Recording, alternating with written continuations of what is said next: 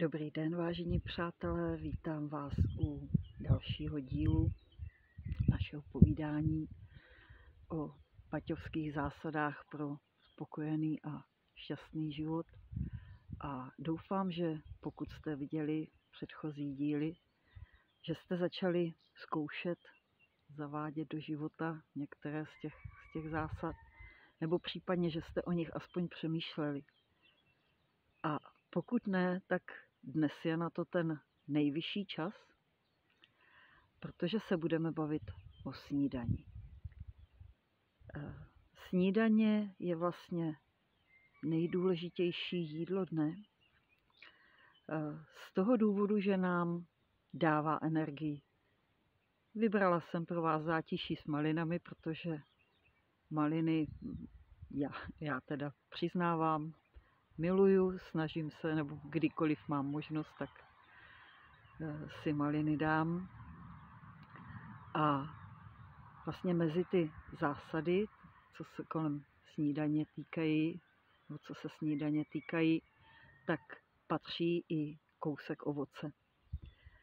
A proč je ta snídaně tak důležitá? No právě z toho důvodu, že vlastně je to začátek dne, a jídlo dává našemu tělu energii. A kdy jindy si dopřát energii než na začátku dne. A proto, abychom dostali dostatek energie, měli bychom věnovat pozornost tomu, co vlastně si k té snídani dáváme. Rozhodně by to neměla být pouze káva, Rozhodně by to nemělo, by se jako snídaně neměla počítat cigareta.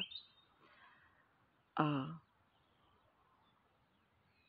je to, je, ta zásada Tomáše Bati byla právě ta, že nemůže člověk dávat to, co nemá a pokud si nedopřeje snídaní, nedopřeje si energii, kterou mu ta snídaně dává, pak nemůže přes den tu energii rozdávat.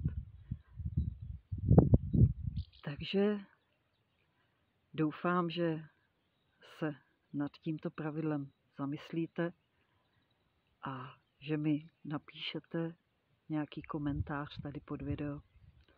Budu se těšit a zase příště na viděnou.